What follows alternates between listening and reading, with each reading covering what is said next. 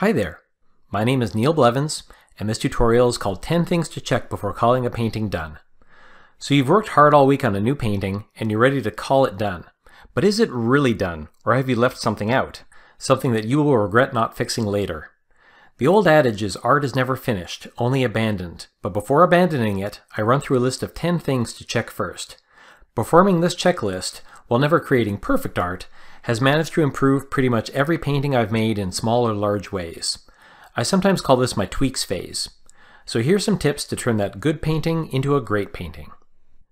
Number one, does the painting tell a story? Hopefully this has been an important aspect of your entire process, and you've worked hard to make artistic decisions to back up your story.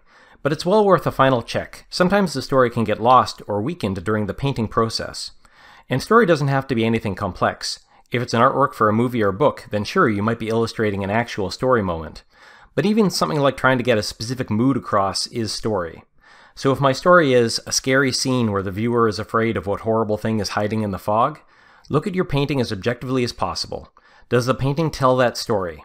What's the hook of the image? What's the thing that you're trying to communicate that people will find compelling? So number two is composition check.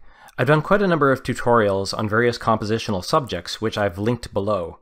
But let's do a quick rundown to see if these various compositional ideas are as good as they could be.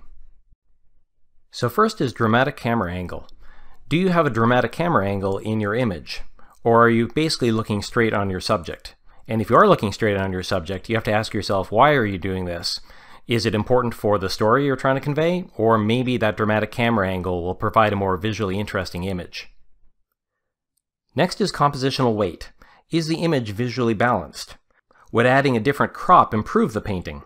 Either adding some space to a side or removing it, would that improve it? Maybe a wider canvas would give the image more of a filmic look. So another important one is the focal point. Does everything lead the eye back to the focal point of the painting? And have you set up appropriate contrasts to make this happen? Next is an eye flow diagram. Create little arrows showing how the shapes and contrast areas move the eye around the image. And does the eye actually move around the whole image successfully? Or do some elements of the composition lead the eye off the painting by accident? Next is layers of light and dark. Are you using layers of light and dark to give separation between elements in the painting? Next is a perspective check. It's so easy during the painting process to accidentally flatten things out, even though you were trying to paint something in, say, three quarters of view so make sure you haven't made any big perspective mistakes. Next is a tangent check.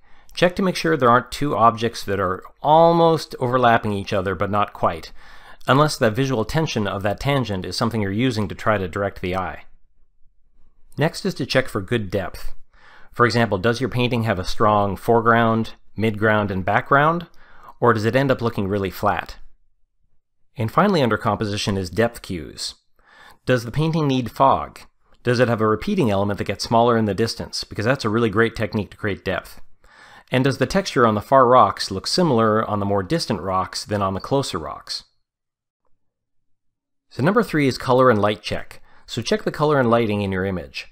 First off, color complexity. Does the image have enough color complexity to it? It's good to have a solid color scheme for the image, but are there some nice accidental colors in there so it isn't too monochromatic? Unless of course the whole point of the image is to be monochromatic. So next is an overlay layer to paint dark and light. So to help draw the eye to the important parts of the image, place a layer on top of your painting set to overlay mode, and paint with a really large soft brush set to 10% opacity, either black or white, to make some parts of the painting brighter and some darker. Also add a levels layer and make sure you're using the full spectrum of dark and light. Except in very rare cases, you don't want an image that doesn't have some pure blacks in it and some pure whites in it.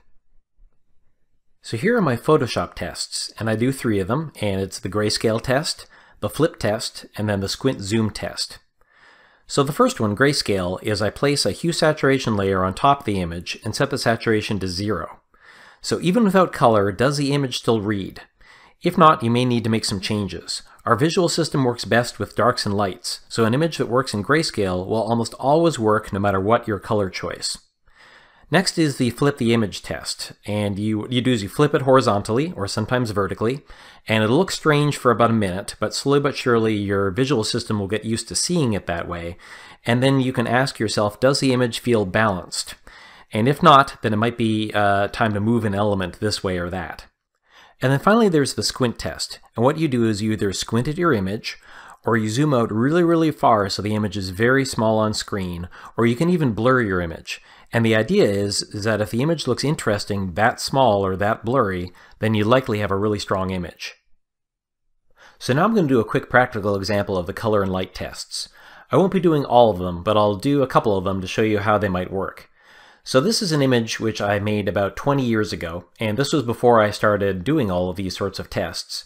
And I posted it, and somebody noted that one of the problems with it is that the area up here is very bright, and the most contrast is here, which leads the eye to this spot. And this is very near the edge of the painting. And if you look at it, let's uh, do the, the zoom test. So you look at it really small and you can totally see that the eye does kind of gravitate towards this area, which means that you're looking over here and possibly off the page and missing all the cool detail here. So one way to just check on how to potentially fix this is here you can see I have an overlay layer. Um, and then I get a big soft brush like this, and I've chosen the color black. And let me just start making this a little bit darker up here. Um, this is about 10% opacity on the, uh, um, on the brush. And then I'll flip it so that now I have white. And let me just add a little bit of brightness over in this spot here. Now if I zoom out, you'll note that the light here is bringing you more towards this area over here. And by putting this dark area up here, I'm taking uh, emphasis away from up here, which is directing the eye in a, in a better way. Now, of course, uh, this is a 3D image, and I wouldn't necessarily use this uh, overlay layer for my final image. You can see, for example, some of these colors are getting overly saturated. But it's a real quick way to check and see, okay, what is the best way to solve this compositional problem? And so in this case, I would go into the, the 3D and I'd move my light so that the light was shining more in this area and uh, going off to dark as it went up in this area to improve the composition. And then just as another example, up here in I placed a levels, and you can see here that the resulting image has black blacks, which is this stuff down here, and white whites, which is this area up here. And so this has a nice full gamut of color, which is something that doesn't always have to be that way, but it, it tends to be nice when you have that full gamut, uh, as opposed to an image. Let me just uh, mess with this for a second. Let me do that and that. And then I'm going to put another levels up here. Okay, and you can see that this level shows that there are no black blacks anymore in this image, and there are no white whites anymore. So if this were my image here, and I did this test, I might say to myself, okay, you know what, I need some more black blacks and white whites in order to have a more balanced image. So number four is form check. Check the shapes and forms in your painting. So first is, is there an interesting shape language? Is the shape language of your designs unique and interesting? If your spaceship, say, is a simple sphere, maybe add some parts of the sphere to cut out. Or is the sphere made up of smaller shapes that when combined give the impression of a sphere? Next is consistent shape language. Are all the shapes in the image part of the same vocabulary? Like if your painting is two warring armies, is it obvious through shape whether an individual soldier goes with one army or the other? And here's just a little example where I used these five different core shapes when I was painting this painting. So I made sure that all the shapes that are inside of this painting all derive from these core shapes, which give it consistency. Next is areas of visual detail and areas of visual rest. So are there areas of really, really complex detail? Uh, and are there areas of no detail? If there is more contrast between the parts of the minutia than there is between the parts of a larger design, then the shape of the larger design will likely be lost. And then finally, the primary, secondary, and tertiary shapes. Make sure that your design has a good mixture of large shapes, and then more medium shapes, and then little tiny shapes in order to provide a visually pleasing result. Number five is a texture check. So one thing many artists, including myself, tend to do when painting is to forget to make the materials really read like the materials they're supposed to be, or to make too many objects the same material. Material variety is really important to a successful painting. So first off, differentiate the materials. Make sure the different materials in your image look different. For example, the highlight on a piece of leather is going to look very different from the highlight on a piece of chrome. So make sure that your different materials look like the different materials you're trying to make. And also have more than one material.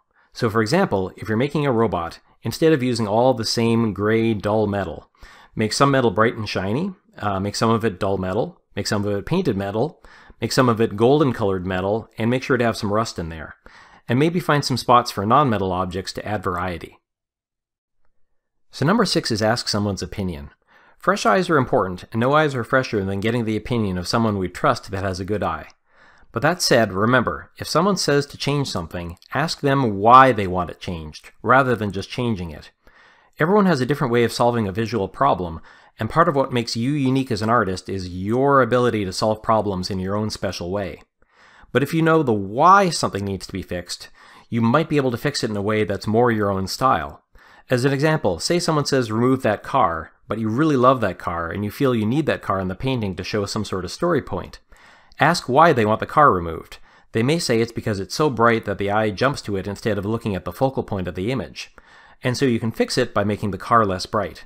Now you fixed the real problem, but kept the car that was important for other reasons. Number 7 is compare to earlier iterations. I tend to save iterations of my painting along the way, and sometimes I get so focused on the details of my final painting that I'll paint over some aspect of the earlier painting that was actually really cool. So I tend to compare my final painting to my sketch, and see if all the elements that made the sketch so cool still exist in the final painting. Or maybe the building being one centimeter over to the left in iteration 5 really looked better than it, wherever it is in my final painting, and so it convinces me to move that building back. Number 8 is compare to others' work. So the IKEA effect is if you put effort into something, you will automatically think it's better than it really is. So to break that spell, gather some other artists' work and compare it to the painting you just made. And note, this is not to give you ideas to copy. You don't want your image to look like their images. Instead, you want to put your image alongside the other images and see if your image holds up. Obviously, if you've picked the work of your heroes, you may still feel like your work doesn't look as good as theirs does, but that shouldn't frustrate you. Comparing your image may reveal some smaller truths. Like maybe comparing to the other work you've chosen to compare it to, you suddenly realize that your work is far too monochrome, and you'll be inspired to add more color to your image. Or your work isn't as detailed, and so you go back and add some extra detail. It's important to inject a little truth into how good your image looks, but take that truth and don't get frustrated by it. Use it as a springboard to improve your own results. Number 9 is leave the image. So stop working on the image and come back to it a few days later with fresh eyes. After working on a painting for say 20 hours, I'm tired and I want the image to be done. And so I'm more likely to want to declare it done because I don't want to work on it anymore, not because it's actually done.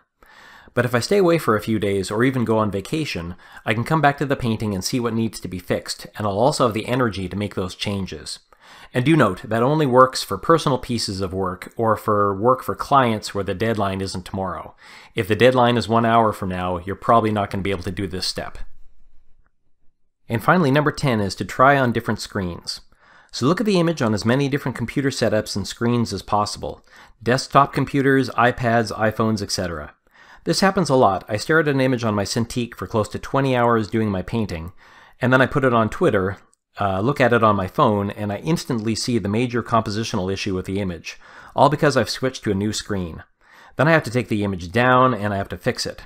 So more recently I've been exporting a finished image to view it on my iPhone, and that lets me catch the issue before I actually post it for the world to see. So hopefully this checklist helps you the next time you're ready to call an image done. I have my own version of this checklist that's skewed a little more towards the things that I tend to forget. So let this list be a starting spot. If there's things you know that you're particularly weak at, make sure to emphasize them in your own personal tweak checklist, and your artwork will be better doing that one last final check. So thank you very much for watching. I hope you found this tutorial interesting. If you want to see more tutorials like this, please go to neilblevins.com and go to the art lessons section. Or if you want to be notified the next time I post a new video, please subscribe to my YouTube channel. Thank you very much.